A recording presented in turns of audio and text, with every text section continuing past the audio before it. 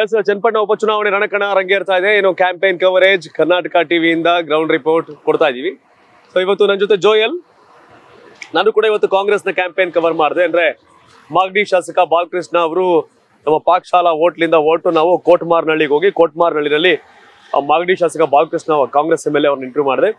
ಅದಾದ್ಮೇಲೆ ಈಗ ಅವರು ಬೈರಾಪಟ್ಟಣದಲ್ಲಿ ಡೋರ್ ಟು ಡೋರ್ ಮನೆ ಮನೆ ನಾಯಕರು ವಿಸಿಟ್ ಮಾಡ್ತಾ ಇದ್ರು.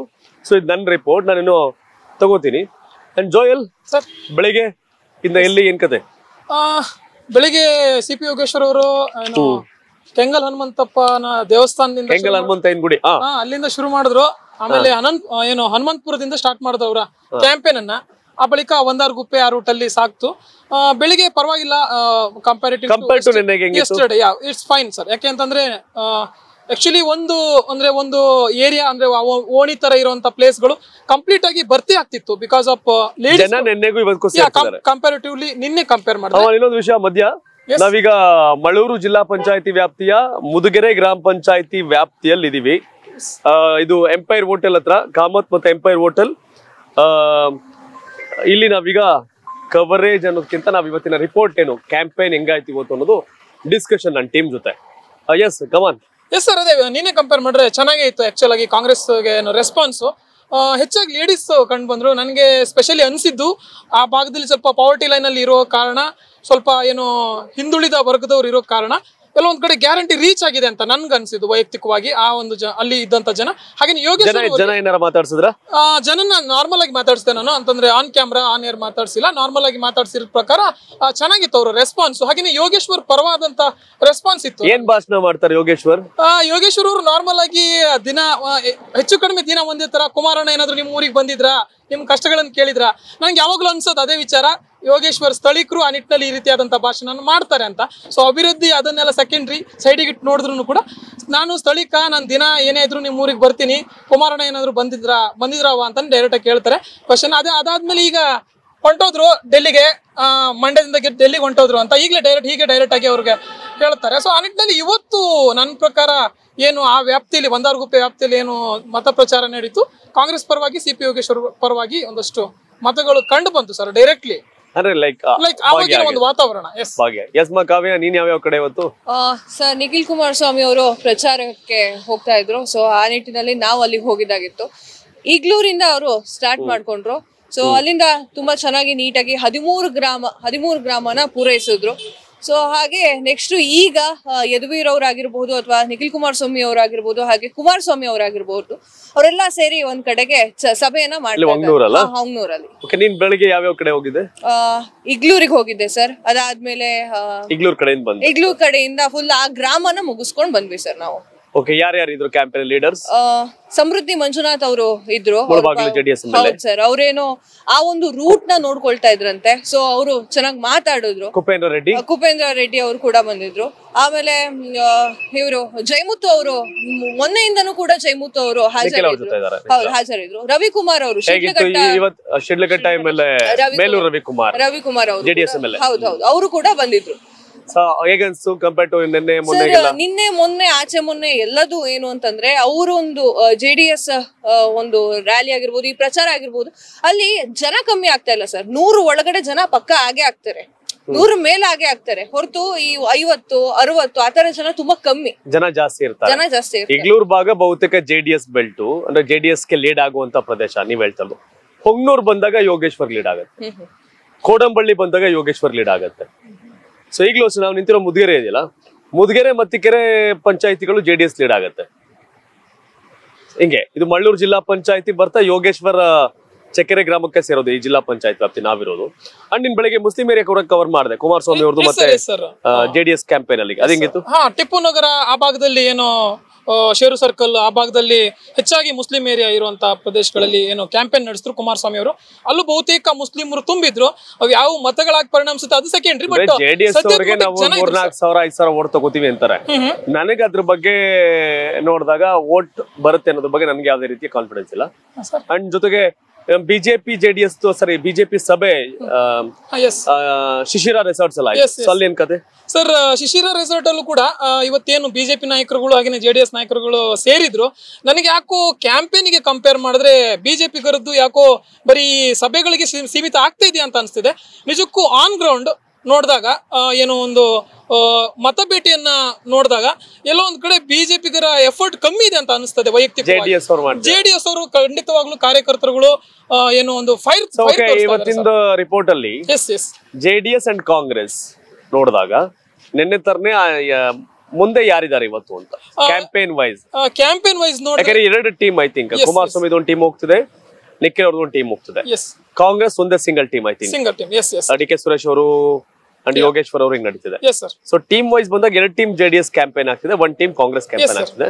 ಬಟ್ ಬಿಜೆಪಿ ಅವರು ಗ್ರೌಂಡ್ ಅಲ್ಲಿ ಜೊತೆಲಿ ಇಲ್ಲ ಅನ್ನೋದು ಹೇಳ್ತಿದ್ರಿ ಸಭೆ ಮಾಡ್ತಿದ್ದಾರೆ ಅಂತ. ಬಟ್ ರಿಪೋರ್ಟ್ ಬಂದಾಗ ಇವತ್ತು ಜಾಸ್ತಿ ಯಾರು ಏನು? ಎಸ್ ಸರ್ ಫೈನ್ ಖಂಡಿತವಾಗ್ಲೂ ಏನಂದ್ರೆ ಇವತ್ತು ಮಾತ್ರ ಒಂಥರ ಫಿಫ್ಟಿ ಫಿಫ್ಟಿ ತರ. ನಿನ್ನೆ ಯಾಕೋ ಕಾಂಗ್ರೆಸ್. ಕಂಡ್ರು ಕೂಡ ಇವತ್ತು ಚೇತರಿಸಿಕೊಂಡಿದೆ ಅಂತ ಕ್ಲಿಯರ್ ಆಗಿ ಹೇಳ್ಬಹುದು ಯಥ ಪ್ರಕಾರ J D S Kumaraswamy but ನಾನು ಆಗ್ಲೇ ಹೇಳಿ ಟೀಮ್ ಹೇಳಿದಲ್ಲ ನಾನು ಇಲ್ಲಾಗ್ಲೇ ಪಾಕ್ಶಾಲಾ ಹೋಟ್ಲಲ್ಲಿ Kunigal M L A doctor Ranganath Congress M L A and Dunthur Vishwanath ಅವರೆಲ್ಲರೂ ಕೂಡ ಮಾತಾಡ್ತಿದ್ದಾರೆ.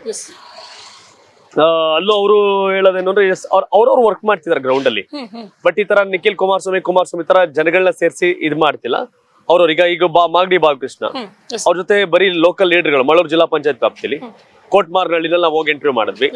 ಸೊ ಇಲ್ಲಿ ಈಗ ಬೈರಾಪಟ್ಟಣದಲ್ಲಿ ಇದ್ದಾರೆ ಸೊ ಹಂಗೆ ಇವ್ರು ವರ್ಕ್ ಮಾಡ್ತಿದ್ದಾರೆ. ಅಂಡ್ ಬೇವೂರ್ ಜಿಲ್ಲಾ ಪಂಚಾಯತ್ ವ್ಯಾಪ್ತಿನಲ್ಲಿ ಇವ್ರು ವರ್ಕ್ ಯಾರು? ರಂಗನಾಥ್ ಡಾಕ್ಟರ್ ರಂಗನಾಥ್ ವರ್ಕ್ ಮಾಡ್ತಾ ಇದ್ದಾರೆ. ದುಂತೂರು ವಿಶ್ವನಾಥ್ ಅವ್ರು ಕೂಡ ಆ ಭಾಗದಲ್ಲಿ ಓಡಾಡ್ತಿದ್ದೆ ನಾನು ಜೆ ಬ್ಯಾಡ್ ಹಳ್ಳಿಗೆ ಹಬ್ಬಕ್ಕೆ ಹೋಗಿದ್ದೆ ನಮ್ಮ ರಿಲೇಟಿವ್ ಮನೆಗೆ. ಬರ್ಬೇಕಾರಲ್ಲ ದುಂತೂರು ವಿಶ್ವನಾಥ್ ಮುಂದೆ ನಮ್ಮ ಮುಂದೆ ಕಾರ್ ಹೋಗ್ತಾ ಇತ್ತು. ಸೊ ಹಂಗೆ ಕೇಳಿದ್ವಿ ಈಗೆಲ್ಲ ಡಿ ಕೆ ಸುರೇಶ್ ಅವ್ರ ಕ್ಯಾಮ್ರಾ ಬಿಟ್ಬಿಟ್ಟಲ್ಲಿ ಮತ್ತೆ ಮೀಟಿಂಗ್ ಹೋಗ್ಬೇಕು ಶಿವಣ್ಣ ಅಂತ ಹೇಳಿ ಹೋಗ್ತಾ ಇದ್ರು. ಬಟ್ ಕಾಂಗ್ರೆಸ್ ಅವರು ಗ್ರೌಂಡ್ ವರ್ಕ್ಗಳನ್ನು ಕೂಡ ಮಾಡ್ತಿದ್ದಾರೆ.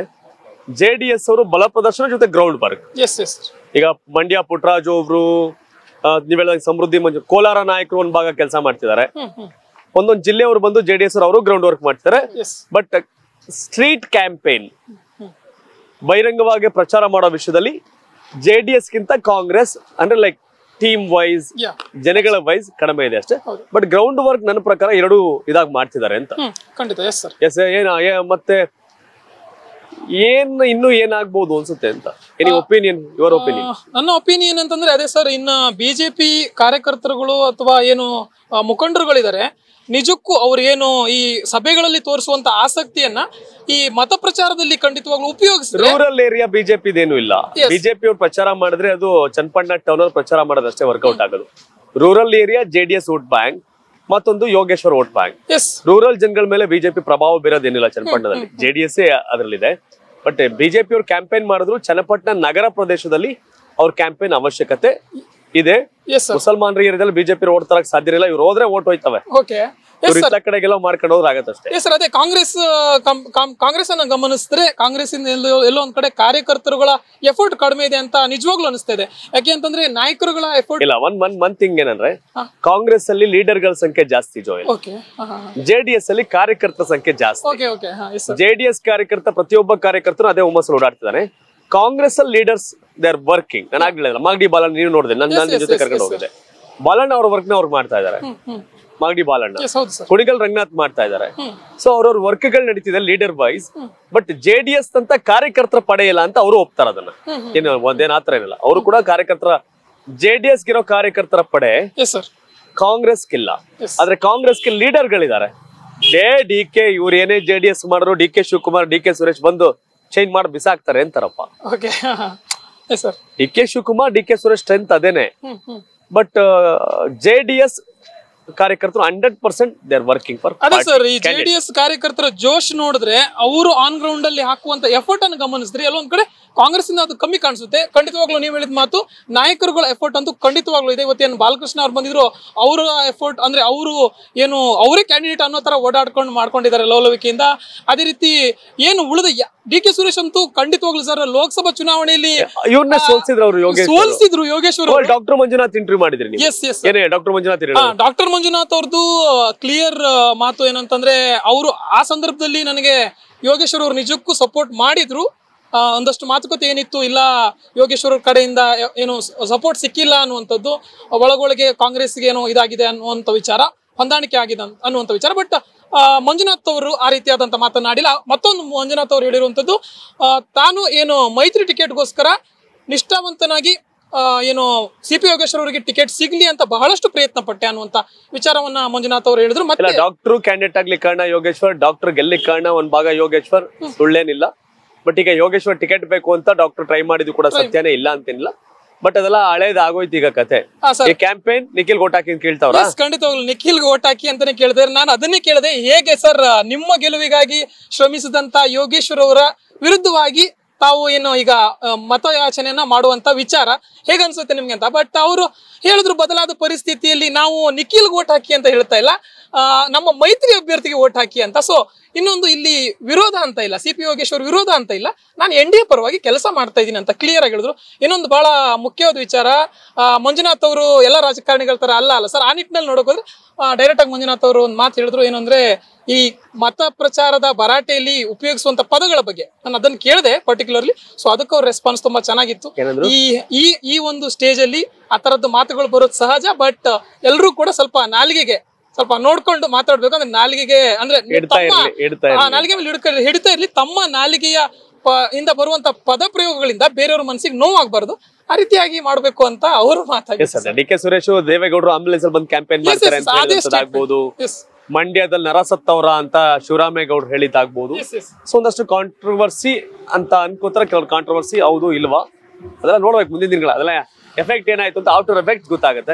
Yes Kavya your opinion sir ನಾನು ಹೋಗಿದ್ದ ಕಡೆ ನಿಖಿಲ್ ಕುಮಾರಸ್ವಾಮಿ ಅವರ ಏನು ಮತ ಪ್ರಚಾರವನ್ನ ಮಾಡ್ತಾ ಇದ್ರಲ್ಲ ಅದ್ರ ಕಡೆ ತುಂಬಾನೇ ಲೀಡರ್ಸ್ಗಳು ಎಂ ಎಲ್ ಎಗಳು ಎಲ್ಲರೂ ಬರ್ತಾ ಇದ್ರು. ಅದರಲ್ಲೂ ಕುಪೇಂದ್ರ ರೆಡ್ಡಿ ಅವರಂತೂ ಬಂದು ಯೂತ್ಸ್ ಎಲ್ಲರೂ ನಿಖಿಲ್ ಕುಮಾರಸ್ವಾಮಿ ಅವರು ಬೇಕು ಅನ್ನುವಂತಹ ಮಾತನ್ನ ಆಡ್ತಾ ಇದ್ದಾರೆ ಅನ್ನುವಂಥದ್ದನ್ನ ಹೇಳಿದ್ರು ಅವರು. ಅದಾದ್ಮೇಲೆ ಸಮೃದ್ಧಿ ಮಂಜುನಾಥ್ ಅವರು ಅವರು ನೀಟಾಗಿ ಹೇಳಿದ್ರು ನಮ್ಮ ತಂತ್ರ ಕುತಂತ್ರ ಎಲ್ಲದೂ ಕೂಡ ಇಪ್ಪತ್ತ್ ಮೂರನೇ ತಾರೀಕಿಗೆ ಗೊತ್ತಾಗತ್ತೆ ನಿನಗೆ ಅಂತ ಹೇಳಿದ್ರು ಅವರು. ಹೌದು ಸರ್ ಹಂಗೆ ಹೇಳಿದ್ರು. ಅದಾದ್ಮೇಲೆ ಎಲ್ಲರೂ ಹೇಳ್ತಾರೆ ಕುಟುಂಬ ರಾಜಕಾರಣ ಅಂತ ಹೇಳಿ ಯಾಕೆ ಬೇರೆಯವ್ರು ಮಾಡಿಲ್ವಾ ಕುಟುಂಬ ರಾಜಕಾರಣ ಅಂತ ಡೈರೆಕ್ಟ್ ಆಗಿ ಫ್ಯಾಮಿಲಿ ಪಾಲಿಟಿಕ್ಸ್ ಅನ್ನೋದು ಮುಗೀತು. ಅದು ದೇವೇಗೌಡರ ಮನೆಗೆ ಮಾತ್ರ ಸೀಮಿತ ಆಗಿಲ್ಲ. ಸಿದ್ದರಾಮಯ್ಯನವ್ರ ಮಗ Yathindra M M L C D K Shivakumar brother D K Suresh M P ಆಗಿದ್ರು. ಸೊ ಲಕ್ಷ್ಮೀ ಹೆಬ್ಬಾಳ್ಕರ್ ಮಗ ಕಂಟೆಸ್ಟ್ ಮಾಡಿದ್ರು. ಹಿಂಗಿದೆ ಕುಟುಂಬ ರಾಜಕಾರಣ ಎಲ್ಲರ ಮನೆಯಲ್ಲೂ ಇದೆ. ಎಲ್ಲರ ಮನೆ ದೋಸೆ ತೂತು ಅನ್ನಲ್ವೇ ಎಲ್ಲಾ ಪಾರ್ಟಿಲೂ ಫ್ಯಾಮಿಲಿ ಪಾಲಿಟಿಕ್ಸ್ ಅದೇನು ಮಾಡಕ್ ಆಗಲ್ಲ. ಎಸ್ ವೀಕ್ಷಕರ ಎಸ್ ಇದು ಇವತ್ತಿನ ಕ್ಯಾಂಪೇನ್ ಅಪ್ಡೇಟ್ಸ್ ಕಾಂಗ್ರೆಸ್ ಕ್ಯಾಂಪೇನ್ ನಮ್ಮ ಜೋಯಲ್ ಕವರ್ ಮಾಡ್ತಿದ್ರು.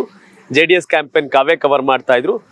ನಾನು ಕಾಂಗ್ರೆಸ್ನ ಎಂ ಎಲ್ ಎ ಬಾಲಕೃಷ್ಣ ಅವರ ಸಂದರ್ಶನ ಮಾಡಿದೆ. ಅದೆಲ್ಲ ಕೂಡ ಕರ್ನಾಟಕ ಟಿವಿ ಪಬ್ಲಿಷ್ ಆಗುತ್ತೆ. ಮಿಸ್ ಮಾಡಿ ಕರ್ನಾಟಕ ಟಿವಿನ ಫಾಲೋ ಮಾಡ್ತೀರಿ. ಚನ್ನಪಣ್ಣ ಬೈ ಎಲೆಕ್ಷನ್ ಸಂಬಂಧಪಟ್ಟಾಗೆ ಅಂಡ್ ಸಂಡೂರು ಶಿಗ್ಗಾವಿ ಕೂಡ ಚುನಾವಣೆ ಆಗ್ತಾ ಇದೆ ಅದರ ಅಪ್ಡೇಟ್ಸ್ ಅನ್ನು ಕೂಡ ನಾವು ನಾಳೆಯಿಂದ ಸಂಡೂರಲ್ಲಿ ಏನು ಶಿಗ್ಗಾವಿ ಏನು ಅಂತ ಇದೇ ರೀತಿ ಅಲ್ಲಿ ಏನಾಗ್ತಿದೆ ಅನ್ನೋದನ್ನ ಅಪ್ಡೇಟ್ ಅನ್ನ ಚನ್ನಪಟ್ಟಣ ಇಂದನೇ ಕೊಡ್ಲಿಕ್ಕೆ ಟ್ರೈ ಮಾಡ್ತೀವಿ. ಆ ರಿಪೋರ್ಟ್ ಅಂತ ತೆಗೆದುಕೊಂಡು. ತಾವೇನ್ ಹೇಳ್ತೀರಿ? ಚನ್ನಪಣ್ಣ ಯಾರು ಗೆಲ್ತಾರೆ? ಕಾಮೆಂಟ್ ಮಾಡಿ ತಿಳಿಸಿ. ಧನ್ಯವಾದ. ಇದು ಕರ್ನಾಟಕ ಟಿವಿ ಕನ್ನಡಿಗರ ಧ್ವನಿ.